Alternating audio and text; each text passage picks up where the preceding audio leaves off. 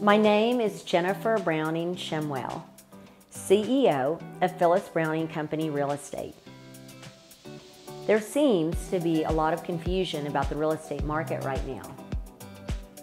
I am continuously asked how the market is doing in Texas and will the new interest rates and recent inflation impact the market. People need to realize that 2021 set many records in real estate sales all over the country due to leftover and pent-up demand coming out of 2020. In contrast, 2022 was a much weaker year in real estate sales. However, it was not terrible. There was a slowdown in 2022, Q4, and Q1 of this year, but now the market has picked up again. I live and work in Texas, in the Texas real estate market.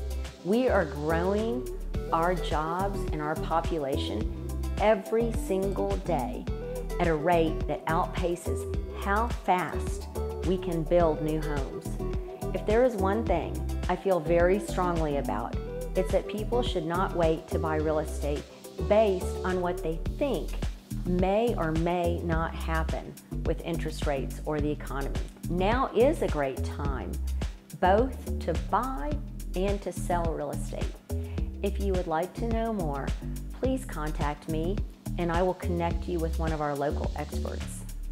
We represent the very best for Texas, and there has never been a more exciting time to invest in real estate.